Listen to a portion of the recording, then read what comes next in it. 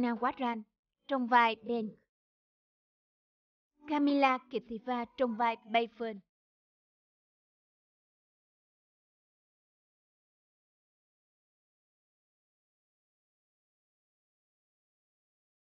Billy O'Ken trong vai Chayut. Bolawat Manuprasad, trong vai Sạc. Natrika Thamridanang, trong vai Khẻm. Anatta Bunsiri Chung Sẻn trong vai Tôn. Arisata Thomborisut trong vai Bire. Kondraquit Sủn Kịch Bun trong vai Săng. Sủ Thon Bù Sảm Sải trong vai Mết. Susana Renon trong vai Sai, Pet Boranin trong vai Thê, Baranet nói ẩm trong vai Chawin.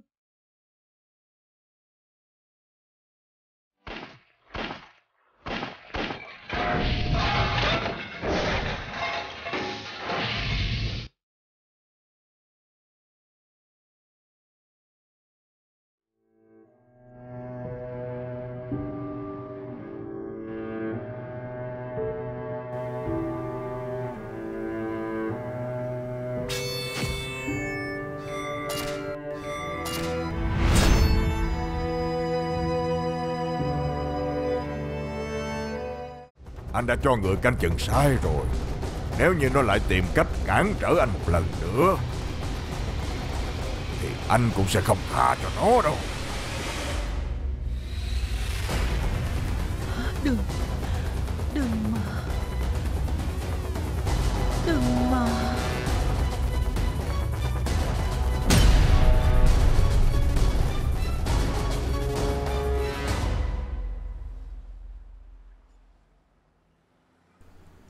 Đã nói đừng có đi gặp Ben Vậy mà cô lại không nghe lời. Chút nữa là gặp ông cha vuốt rồi. Tôi không biết. Ngày mai tôi nhất định sẽ không để cô đi gặp Ben đâu. San à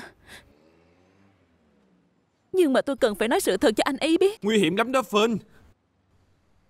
Mà không chỉ mình cô đâu. Còn mọi người trong nhà nữa Phên à. Tôi biết rõ chứ Nhưng mà cậu nói tôi phải làm sao đây? Cô thử nghĩ coi. Bây giờ Ben ở cùng ông cha vuốt Nếu anh ta không tin lời cô và đưa ông cha vuốt tới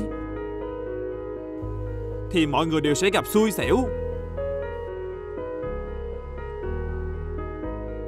Nhưng mà tôi nghĩ Anh Ben sẽ tin những gì mà tôi nói với anh ấy.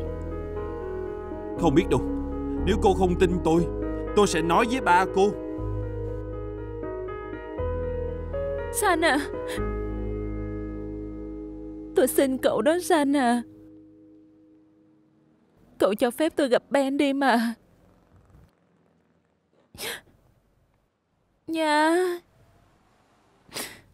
Cậu hãy chia tình bạn bấy lâu nay của chúng ta có được không? Cậu hãy để cho tôi gặp và nói sự thật cho anh Ben biết đi. Tôi thật sự hy vọng là anh ấy biết được. Để anh ấy có thể cẩn thận hơn Và đề phòng cho ông cha vuốt Nhà San, Chỉ một lần này thôi mà. Tôi hứa là chỉ một lần này thôi.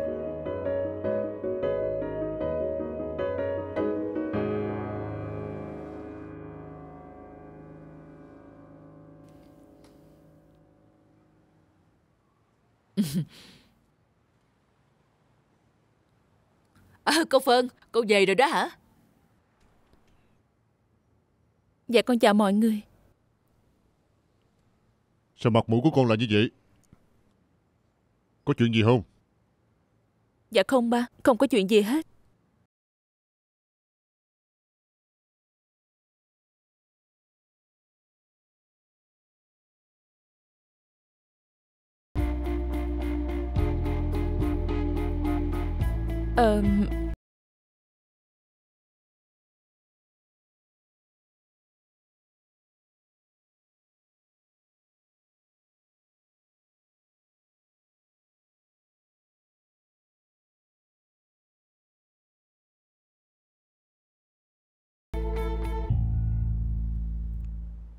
Bác Khoảnh à, để con phụ bác nha. Ừ, được.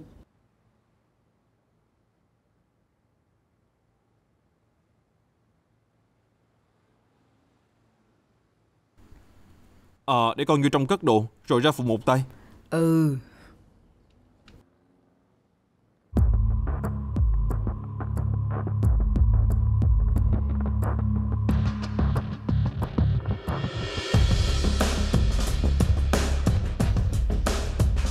Nè Son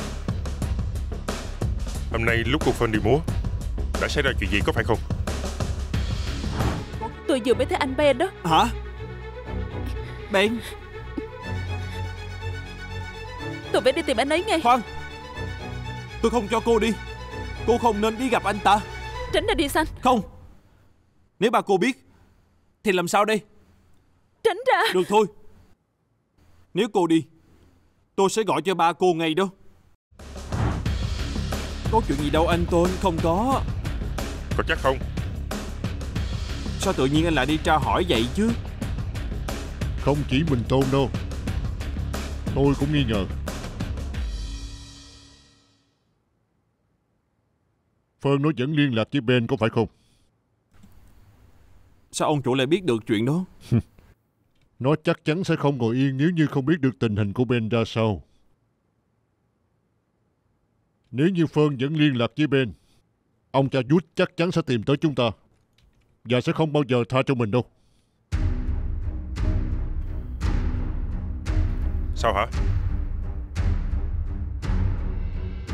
Mau nói đi chứ Muốn nhìn thấy cô Phân bị hại hay sao Hả Cậu có nói ra hay không Nói mau Thôi bình tĩnh đi.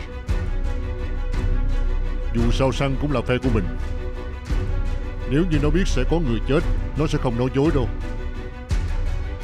Nếu như nó không nói, tức là không có gì. Ngày mai tôi nhất định sẽ không để cô đi gặp Ben đâu. Xanh à Nhưng mà tôi cần phải nói sự thật cho anh ấy biết Nguy hiểm lắm đó Phên. Mà không chỉ mình cô đâu. Còn mọi người trong nhà nữa Phên à. San à Tôi xin cậu đó San à Cậu cho phép tôi gặp Ben đi mà Nha Cậu hãy chỉ tình bạn bấy lâu nay của chúng ta có được không?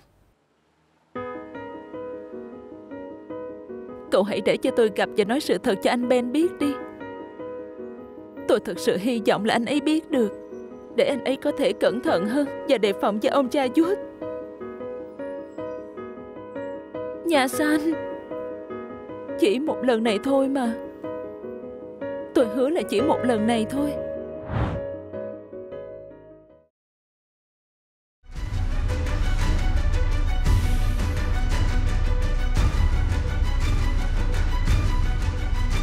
Ông chủ Cái gì? Tôi đã gặp được cô sai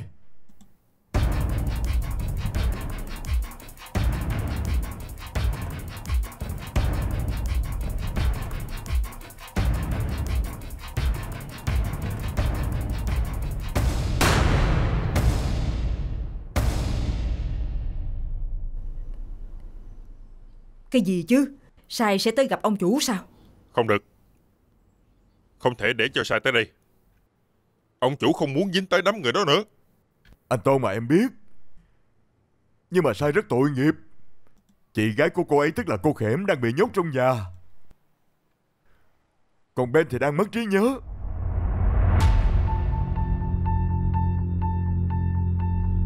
Bây giờ Ông cha Chút muốn giết hai người họ lúc nào cũng được hết Nhưng nếu ông cha Wood biết chúng ta đang ở đây Thì ông ta cũng không tha cho chúng ta Đúng đó Nhà đã bị cháy Phải trốn chui trốn nhủi Chúng ta phải ra nông nổi này Tất cả là do ông cha Wood Nhưng mà không lẽ cứ chạy trốn như vậy hoài hay sao? Ông cha Wood đó là một người quyền lực, có tiền. Ông muốn làm gì ai cũng được hết. Không lẽ chúng ta cứ phải trốn vậy hoài sao? Nếu mà cứ ngồi yên, ông ta cũng không dừng lại. Đúng đâu chủ Bây giờ chỉ có một mình ông Mới có thể chỉ tội được ông cha Chút mà thôi Đủ rồi thế Giờ em mê gái tới mức đánh đổ cả người nhà của mình hay sao Hả Thôi thôi được rồi mà. Không cần phải cãi nhau.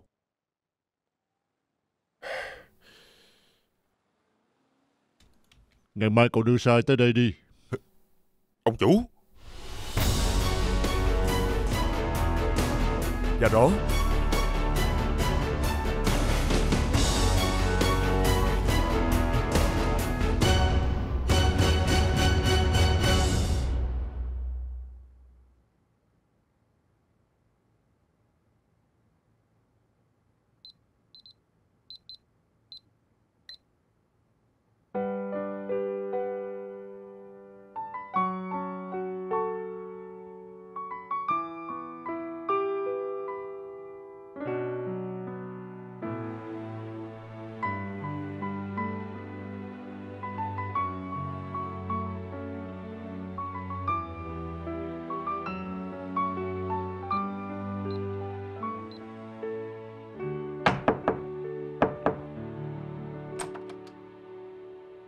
chuyện gì vậy hả ba? Ba muốn báo cho con biết là ngày mai Thê sẽ đưa sai tới gặp ba đó. Ba giờ nói cái gì? Thê đã gặp được sai rồi sao? Phải. Phòng để khi con muốn gặp mặt sai. Nên ba muốn nói trước. Dạ Ngày mai con có xuất diễn sớm rồi ba Chắc là không gặp được rồi Nhưng mà con nghĩ ba không còn muốn dính dáng gì tới mấy người bên đó nữa có đúng không ba? Phải.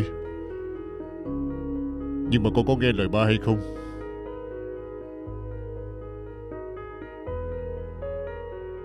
Ba xin con đó Phương à.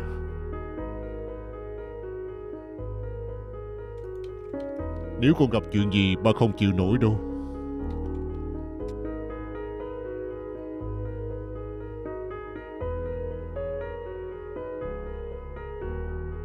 Được rồi.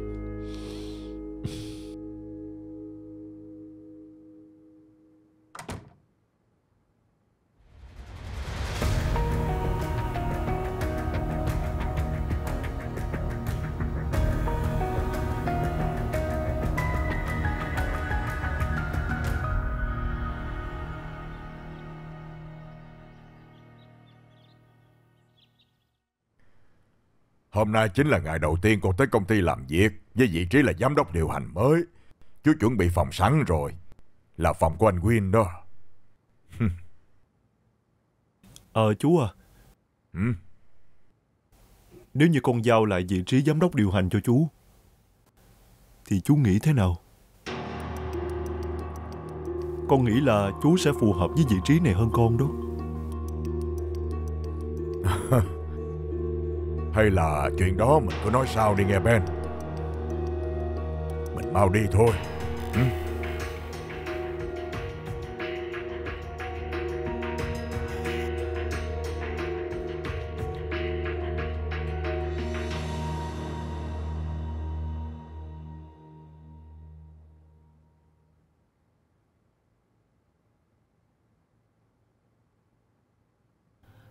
Mọi thứ đã sẵn sàng rồi chứ. Vậy chúng ta mau xuất phát thôi. Không cần phải tới đây đón tôi đâu. Chú kêu cô ấy tới đây hay sao? Lần sau cô cứ đợi cậu Ben ở văn phòng nghe. Không cần phải tới tận đây. Hôm nay cũng đã lỡ rồi. Con đi cùng với cô ấy đi. Bây giờ chú có việc gấp liên quan tới giấy tờ quan trọng.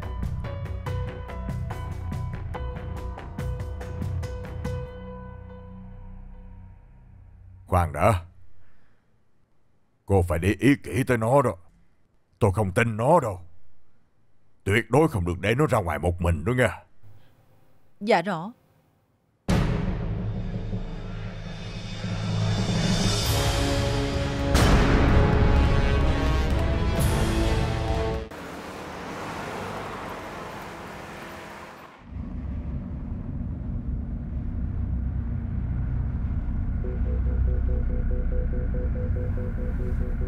Làm gì cho chú tôi bao lâu rồi?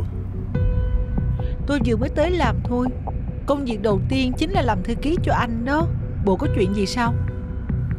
Không, không có gì. Tôi chỉ muốn biết chú tôi là người như thế nào. Vì tôi đã không ở Thái nhiều năm rồi Nên không rành chuyện công ty lắm Ừm, chú anh là người như thế nào hả? Thật ra chuyện này cũng khó nói Bởi vì tôi không hiểu rõ ông ấy cho lắm. Nhưng theo những gì tôi cảm nhận Thì ông ấy thật sự rất lo lắng cho anh Ben lắm đó. Lo cho tôi sao? Lo tới mức kêu cô đến nhà đón tôi. Có khi chú ấy cử người đến canh chừng tôi thì có. Anh vui tính thiệt. Trời ơi sao anh lại nghĩ như vậy chứ? Vậy cô nói thử coi. Tại sao chú ấy phải làm vậy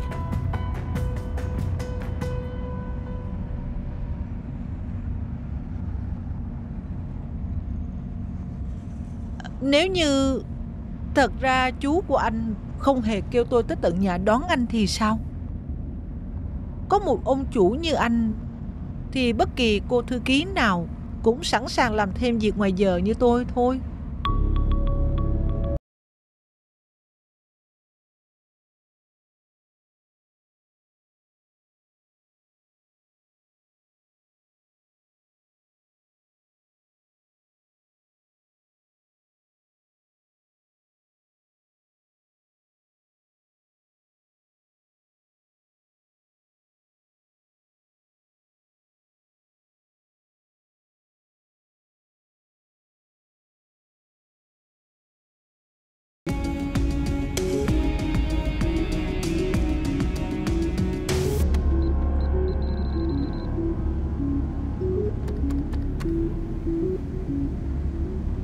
Được rồi chứ.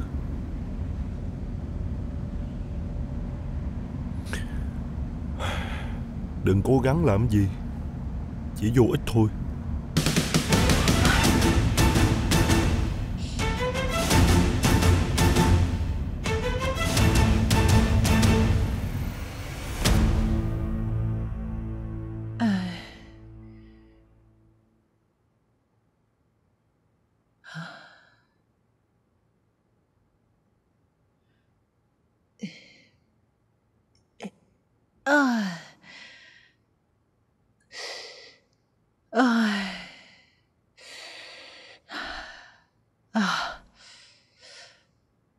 Hết tác dụng rồi sao khẽm Sáng thức dậy, Rồi ngủ trước. Nếu như em định ngoan cố với anh, Thì đừng có trách anh phải tăng liều lượng với em đó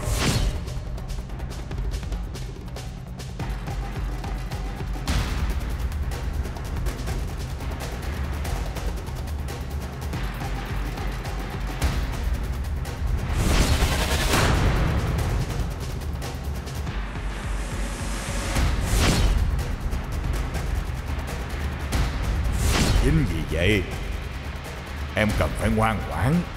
Đừng quên là anh luôn theo dõi nhất cử nhất động của em.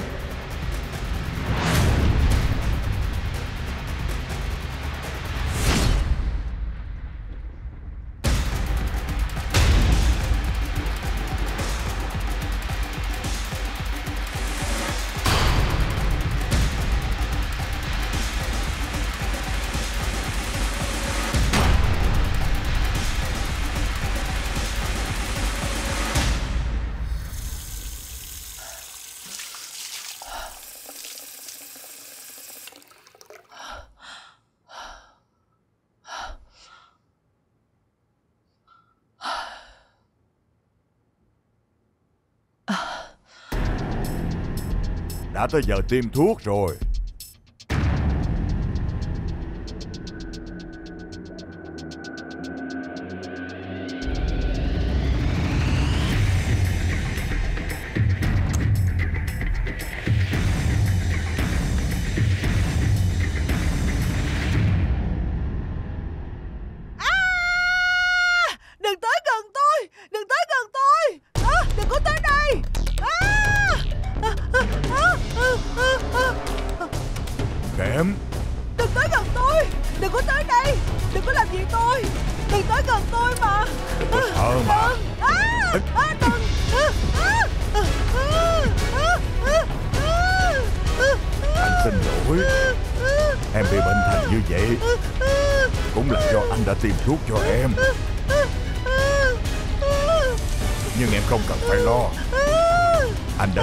Sư chuẩn bị đầy đủ giấy tờ cho thằng Ben ký rồi. Sau khi mọi thứ thuộc về anh, Thì anh sẽ đưa em đi bệnh viện chữa trị. Nè.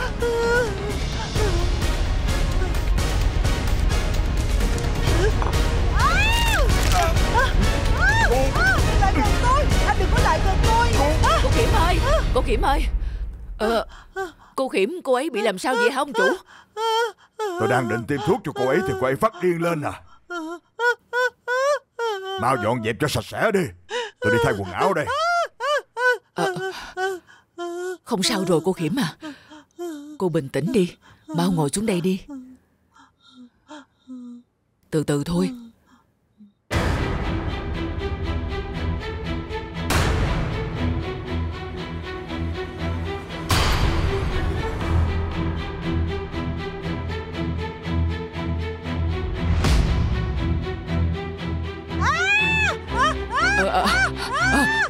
Mà Cô Khiểm Biết Biết Biết Ờ. Biết Biết Biết Biết đi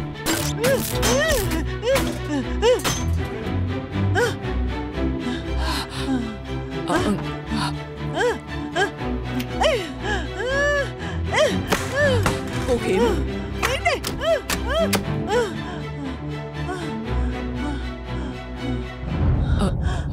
Không phải sợ nữa đâu bác. Tôi đã đuổi chúng đi rồi.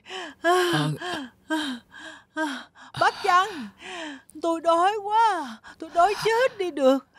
Bác đi nấu gì đó cho tôi ăn đi. Ờ, Dạ được. Tôi đi ngay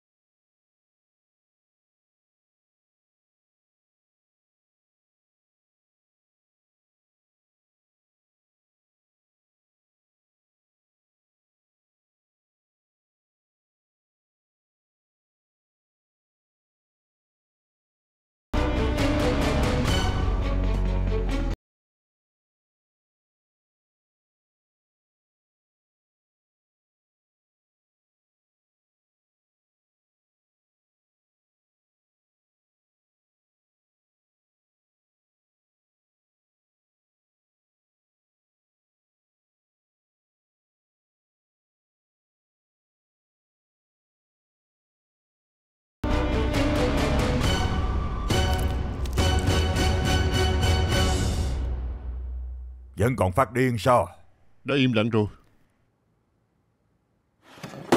Hôm nay cô ta điên hơn bình thường Nhớ canh chừng cho kỹ đó Tuân lệnh.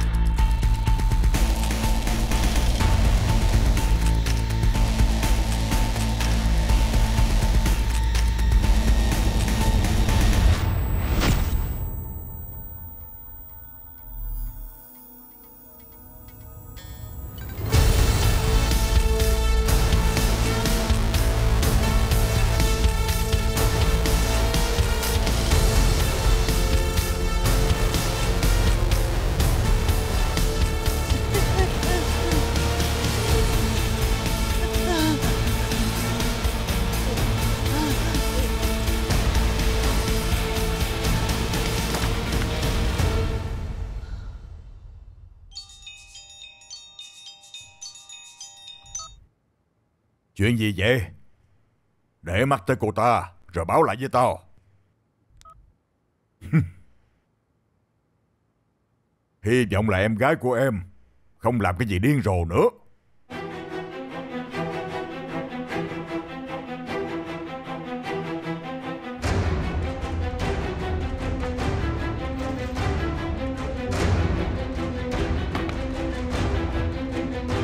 Vâng. Hôm nay cô Khểm không được khỏe. Để tôi mang vào cho cô ấy. Để qua bên kia đi.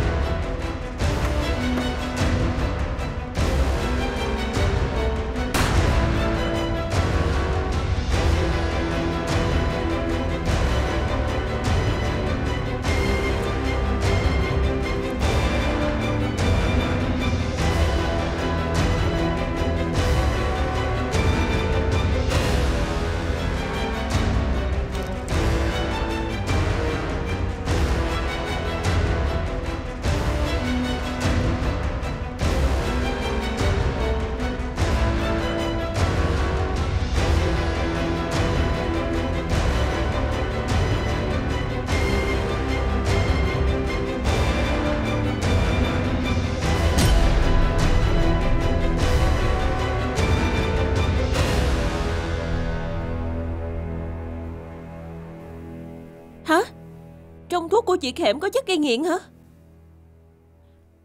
Là LSD à? Vậy nghĩa là nếu tiêm thường xuyên thì sẽ bị nghiện hả? Được tôi hiểu rồi, cảm ơn nha.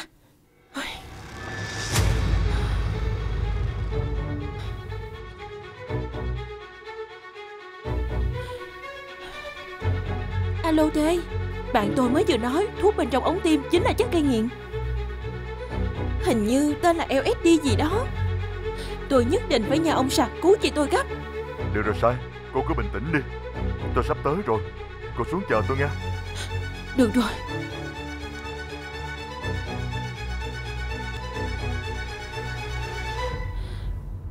Tôi xuống rồi, anh đang ở đâu vậy? Tôi tới đây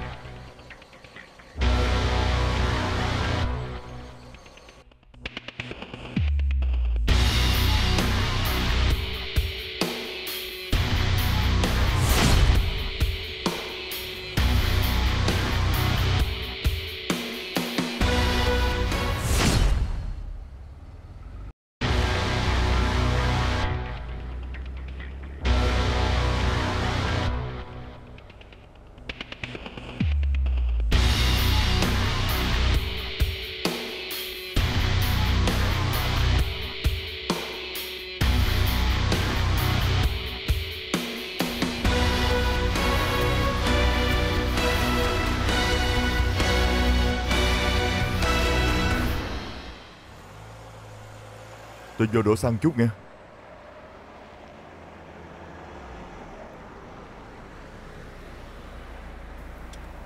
Tôi xuống để mua ít đồ ăn. Ừ. Đổ đầy cho tôi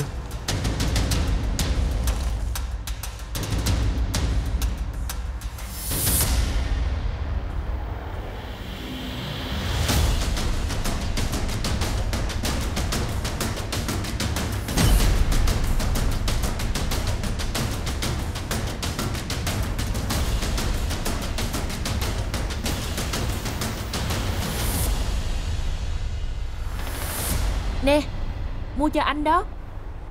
Coi như là quà cảm ơn anh đã chở tôi tới gặp ông sạc. Cảm ơn cô Ta đi mau đi Giờ này chắc ông chủ cũng về rồi Đi thôi Đi.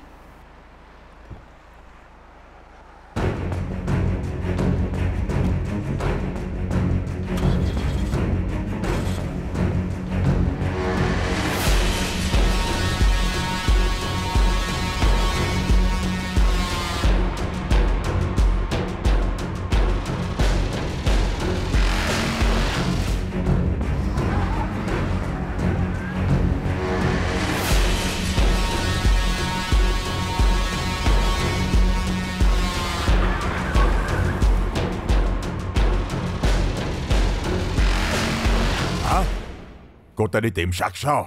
Đúng vậy. Và chiếc xe tới đón sai. Cũng chính là chiếc xe đêm qua. Cứ tiếp tục theo dõi bọn chúng Rồi báo lại cho ta biết. Bây giờ ta sẽ tới ngay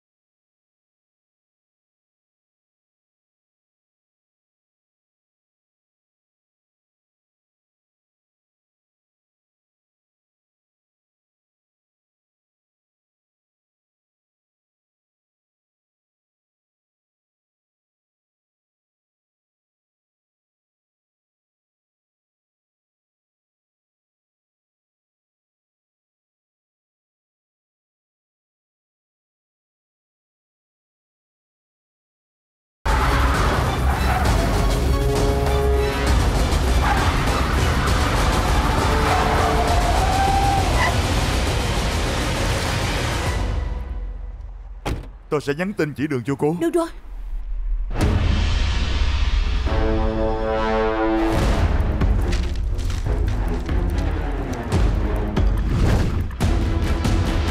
Alo Cô ta đã phát hiện ra tôi rồi.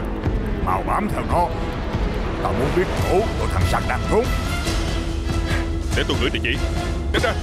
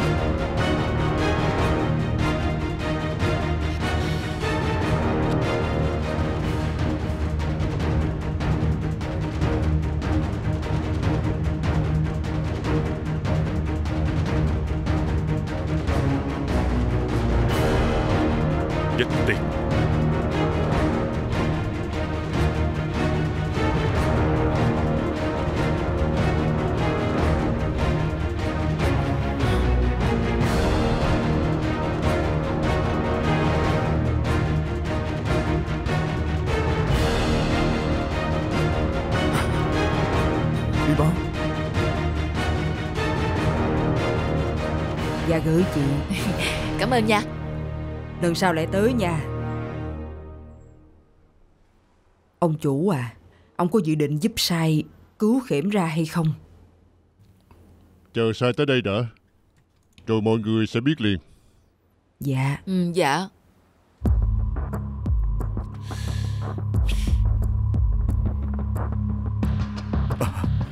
Ông chủ Tới rồi Rất cảm ơn ông đã đồng ý gặp tôi. Có bị ai bám theo hay không? Dạ không có. Ông sẽ giúp tôi đúng chứ?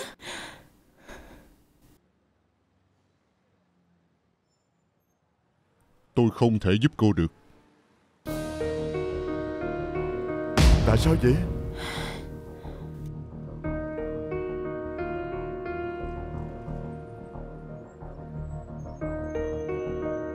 Không phải là tôi không muốn giúp Mà là dù có bao nhiêu bằng chứng buộc tội ông cha Dút Thì cảnh sát cũng không bắt được hắn đâu. Nhưng ông là người duy nhất có thể cứu được chị Khảm. Đúng vậy đó ông chủ. Nếu ông chịu đứng ra làm chứng chống lại cha Dút Thì ông ta sẽ bị bắt ngay lập tức. Làm chứng à? Chị Khoảnh quên rồi sao? Lúc nhà ta bị cháy ở Tờ Rân Chính bên phía cảnh sát đã kết luận tôi là người phóng hỏa để trốn tội. Sau đó thì sao hả Tôi đã trở thành tội phạm bị truy nã khắp nơi.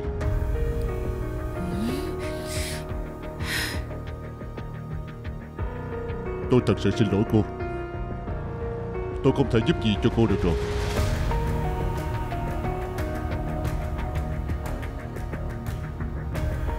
Sai. Sai. Sai.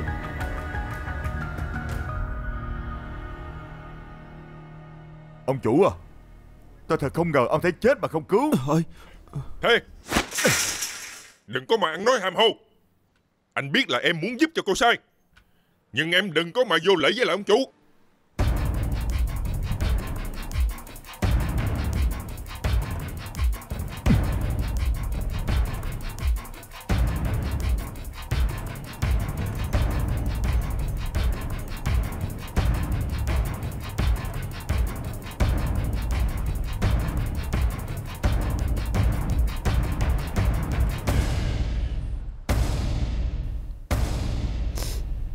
Sai Để tôi đưa cô về.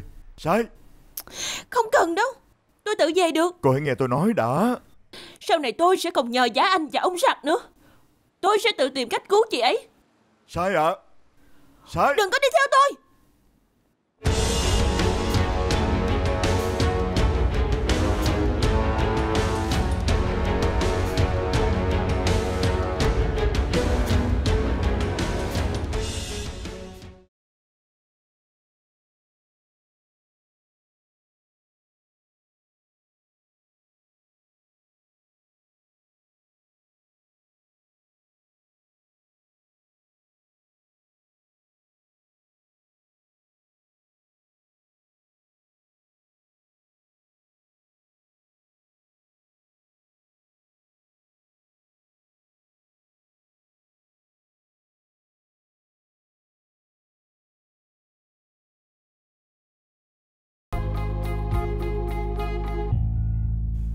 Tới một mình chứ hả?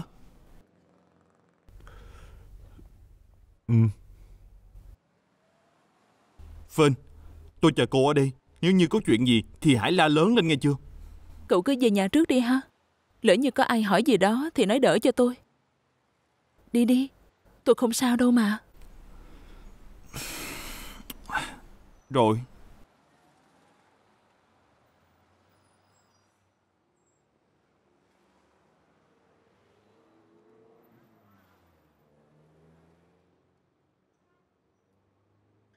Sao tôi có thể tin được những gì cô nói là thật? Nếu như anh không tin tôi, Thì anh đã không có mặt ở đây rồi đúng chứ? Tìm chỗ ngồi nói chuyện đi. Chuyện cần phải nói rất nhiều.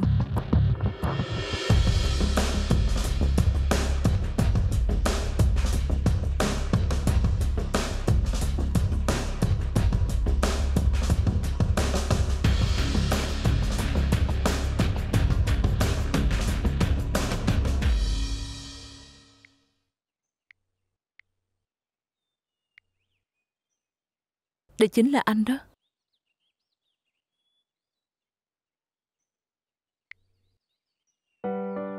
Anh nhìn tấm hình này Rồi có nhớ được chuyện gì không?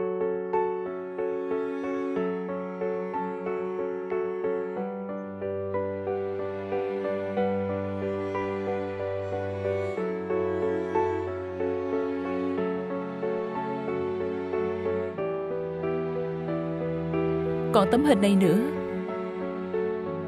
Anh có nhớ ra được ngày hôm đó đã xảy ra chuyện gì không?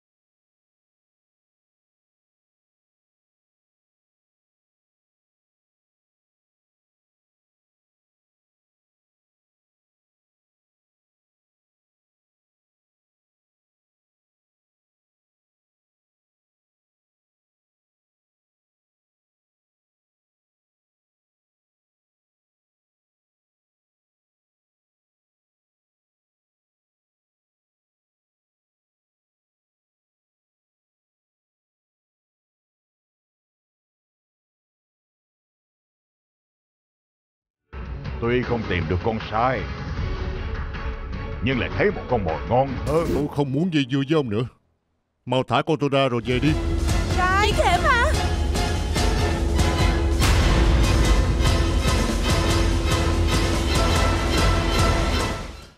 Tôi bị chồng của tôi nhốt ở trong nhà. Anh ta tiêm thuốc gì cho tôi tôi không có biết. Tôi có chuyện muốn làm phiền ngài giúp tôi một tay